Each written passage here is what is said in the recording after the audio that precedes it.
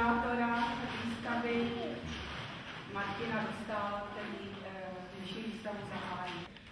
Pavel Šmíd, jak vidíte, už není nejmladší. Studoval na Pražské akademii na začátku 90. let, od roku 90 asi do roku 97 u Jiřího Sobka. Pavel Šmíd si maluje, když člověk dělá figurální věci, tak samozřejmě se rozlíží okolo sebe, kde jsou ty motivy, ty náměty, které by ho mohly máme vlastně tyto, tyto dva, dva cykly, nám vlastně ukazují něco, co je jakoby vlastně přirozené, banální, ale co se už odehrávalo v minulosti.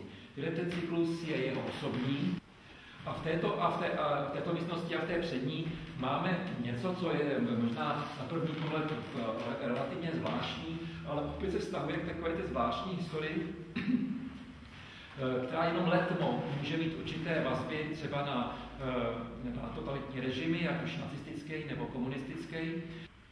Pavel říká, že bychom měli vlastně udělat, že bych neměl mluvit já, ale že bychom měli udělat rozhovor. Rozpět. Řekl jsem všechno. Já jenom, jen doplním, že skutečně tady tu kolektivní paměť, vizuální, tu vlastně opravdu všichni sdílíme, taky ty fotky třeba, jak všichni čumí někam z nějakého, takže to vlastně se do toho můžeme promítnout všichni společně. Protože vzpomínka je stejně mizivá jako ta hudba, která tady zněla na začátku. No, takže pěkný večer. Tak si to užijte. Děkuji, že jste přišli.